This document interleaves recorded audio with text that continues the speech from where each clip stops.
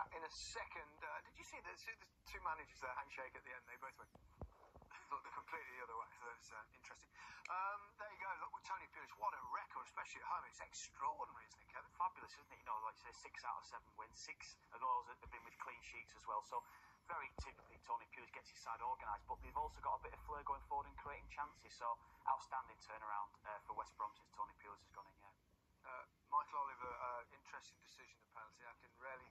I've seen that's more blatant that's not been given. Well, what do you think?